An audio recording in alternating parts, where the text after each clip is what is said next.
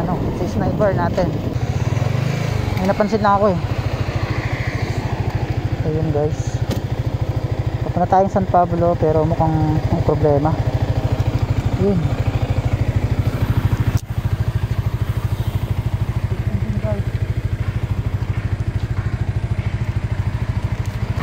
ano kaya ito so yun guys nag check engine tayo.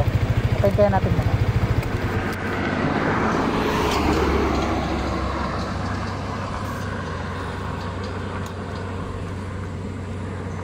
yun check engine pa rin. Mukhang problema nito guys. Plastic so ano ito may malapit na yan? Ako ano? Balik tayo? Oo. Uwi na muna tayo guys.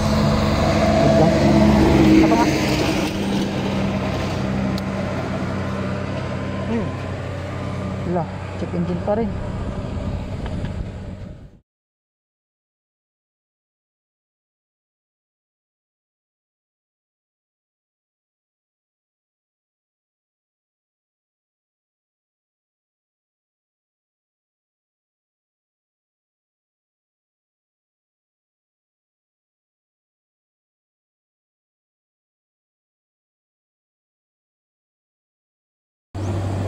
So yun guys. Uwi na tayo kasi ito nagkaroon ng check engine. So dapat may lakad tayo. May bibiling sana tayo sa San Pablo kaso yun. Karoon tayo ng check engine. So balik tayo. Uwi na lang tayo muna. Papayos natin muna to. O try din natin kung kaya natin gawin. So, ayan na. Check engine sila.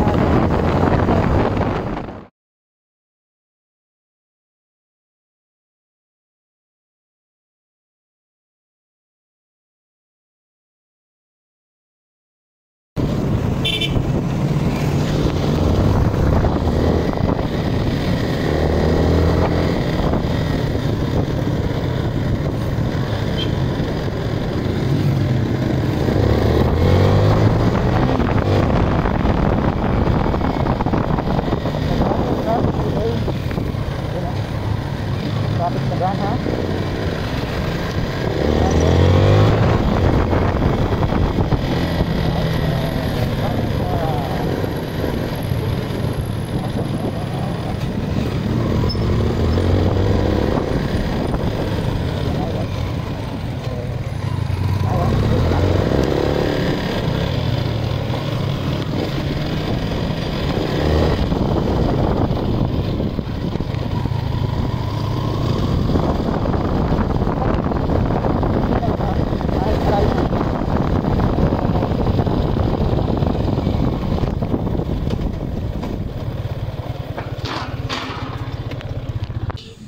Ayan guys, uh, kawin na rin tayo. So kanina, biyahe tayo. Eh, nagkaroon ng problema. Uh, magandang araw nga pala sa inyo. So yun ha, kung mapapansin nyo guys. Yun, uh, nag-check engine siya. So, gagawin natin ngayon. Subukan natin.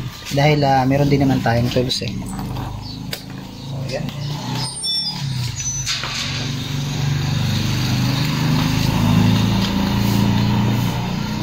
Dahil uh, pinamad na ako pumunta dun sa kasa. Tsaka maaga pa eh. Ma minsan kasi late sila nagbubukas. So, meron din naman tayong gamit dito. Subukan natin kung kaya nito. Ah, ano nga pala, Dr. Architect. So, meron tayong diagnostic tools. Yan. So, hanapin natin ngayon kung nasan yung lagayan nito. So, last time kasi nagbaklas ako. Ito ko siya nakita eh. Lagi naman kasi ang Yamaha is malapit sa battery. Ah, ito.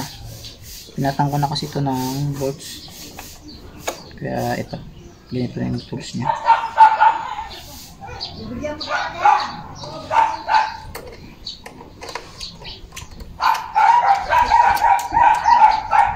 Sayang, uh, may bibilin sana kami.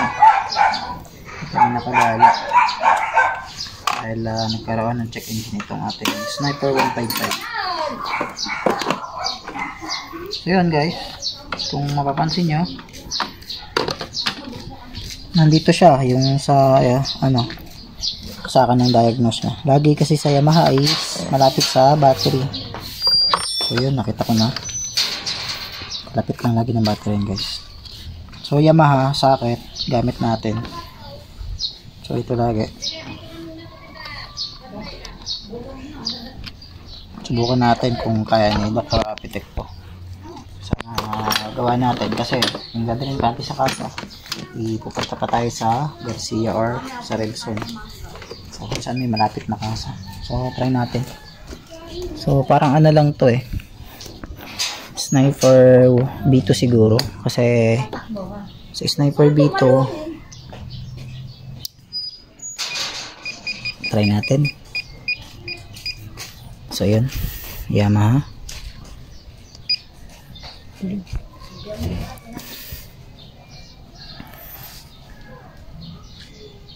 Dito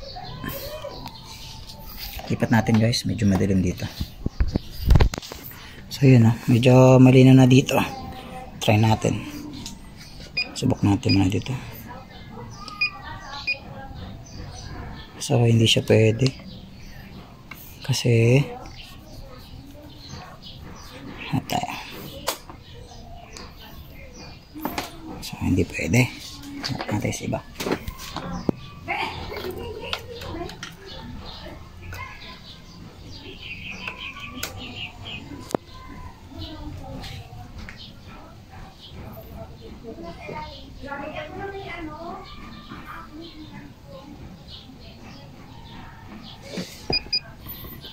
So ulitin natin.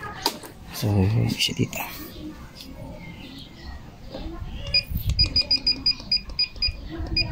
So yan mga. So dahil bago tong sniper dito tayo sa exciter niya. So yun. So yun, meron na ito, yung pinakang error niya. So hindi tayo familiar sa error nito kasi ito ay bagong motor. So parang uh, sniper B2. So meron siyang error code P0118 ECT sensor high. So yun yung naging problema niya guys. So mamaya i-research natin yan. Okay, so reset na natin. Try natin kung mare-reset. So yun guys reset natin so yes natin yun so pwede kaya mag reset ni Dr. Apetek ng ating sniper 155 okay so natanggal so yun guys kung gusto nyo palang mag uh, nito pwede kayo dito sa Dr. Apetek so kung sino man yung may mga diagnostic na alam nyo yun pwede nyo dalahin si sniper 155 dun guys so yun tanggal agad yung ating uh, check engine uh, ngayon, hindi ko alam kung anong error yun eh. So, nandun naman eh, nakalagay naman yung code. So, isi-search natin mamaya kung anong problema ng error na yun. So, malalaman natin kung anong klaseng sensor yung nagkaroon ng error. So, yun guys. Paano? Uh, maraming maraming salamat sa sumaybay-bay na dun sa ating uh, YouTube channel. So, don't forget to click the bottle bells then para update kayo sa ating pang mga susunod na videos. So yun guys, natanggal natin ang ating uh, check engine